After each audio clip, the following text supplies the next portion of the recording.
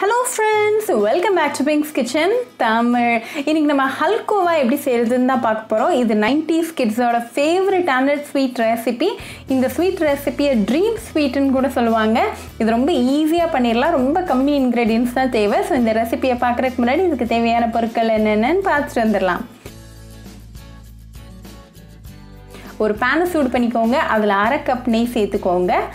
நெய் நல்லா உருகட்டும். நான் ஏற்கனவே வீட்லேயே நெய் எப்படி செய்கிறதுன்னு ஒரு வீடியோ போட்டிருக்கேன். அந்த வீடியோவோட ரெசிபி லிங்க் வந்து நான் டிஸ்கிரிப்ஷன் பாக்ஸில் கொடுக்குறேன். அதை செக் பண்ணிக்கோங்க. இப்போ நெய் நல்லா உருகியாச்சு. ஸோ இந்த ஸ்டேஜில் ஒரு கப் மைதா சேர்த்துக்கோங்க.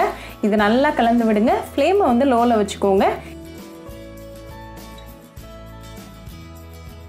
இனிஷியலாக கலந்து விடும்போது கொஞ்சம் திக்காக தான் இருக்கும். நீங்கள் கலந்துக்கிட்டே இருக்க இருக்க நல்லா லூஸ் ஆயிரும். ஒரு பத்து நிமிஷம் போல் நல்லா மிக்ஸ் பண்ணிக்கிட்டே இருங்க. இப்போ அஞ்சு நிமிஷம் ஆயிருக்கு. கொஞ்சமாக லூஸ் ஆக ஆரம்பிச்சிருக்கு. ஸோ இன்னொரு ஃபைவ் மினிட்ஸ் நம்ம கலந்து விடலாம்.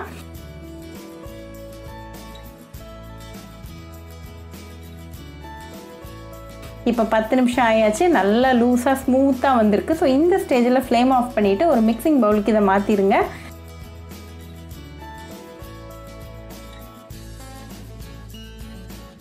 இதை மிக்சிங் பவுலில் வச்சுட்டு ஒரு பத்து நிமிஷம் நல்லா ஆற விட்டுறலாம்.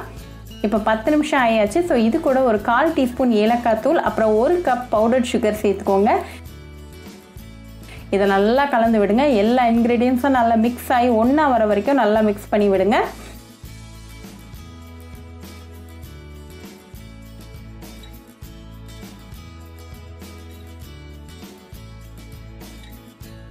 இப்போ இது ரெடியாக இருக்குது ஒரு சின்ன கண்டெய்னரில் நல்லா நெய் தடவி ரெடியாக வச்சுக்கோங்க. நம்மளோட பர்ஃபியை வந்து அதுக்கு மாற்றிட்டு நல்லா லெவல் பண்ணி விட்டுருங்க.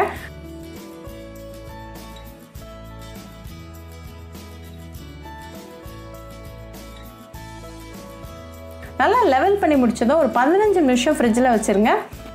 இப்போ பதினஞ்சு நிமிஷம் ஆயாச்சு. நம்மளோட ஹல்கோவா ஃப்ரிட்ஜிலேருந்து வெளியே எடுத்து வச்சுருக்கேன். இது ஒரு ஃபைவ் மினிட்ஸ் அப்படியே இருக்கட்டும். ஃபைவ் மினிட்ஸ் கழிச்சு ஹல்கோவாவை டீமோல் பண்ணிடலாம் டிமோல் பண்ணிவிட்டு உங்களுக்கு பிடிச்ச சைஸில் நீங்கள் கட் பண்ணிக்கலாம்.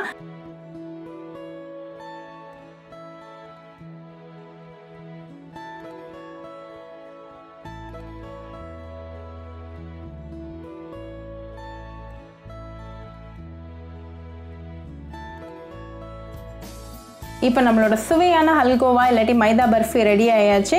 இது நீங்கள் உடனே சாப்பிட்டு உங்கள் ஃபேமிலி அண்ட் ஃப்ரெண்ட்ஸ் கூட என்ஜாய் பண்ணலாம். இது ஒரு ஏர்டைட் கண்டெய்னரில் போட்டு ஒரு வாரம் வரைக்கும் வச்சு சாப்பிட்லாம். ரொம்பவே டெலிஷியஸ் ஈஸி அண்ட் எல்லா கிட்ஸோடையும் ஃபேவரட் ஸ்வீட் ரெசிபி ஸோ கண்டிப்பாக இந்த ஹல்கோவா இல்லாட்டி மைதா பர்ஃபி ரெசிபி உங்கள் வீட்டில் ட்ரை பண்ணி பாருங்கள் ட்ரை பண்ணிவிட்டு எப்படி இருந்துச்சுன்னு எனக்கு கமெண்ட்ஸில் சொல்லுங்கள் இன்னொரு சூப்பரான ரெசிபியோட உங்களை வந்து பார்க்குற வரைக்கும். பாய் ஃப்ரெண்ட்ஸ்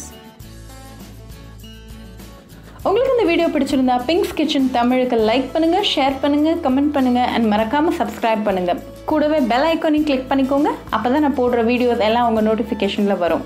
உங்களுக்கு ரெசிபிஸ் இங்கிலீஷில் பார்க்கணும்னா பிங்க்ஸ் கிச்சன் சேனலை பாருங்கள் சேனலோட லிங்க் நான் அந்த டிஸ்கிரிப்ஷன் பாக்ஸில் கொடுக்குறேன்.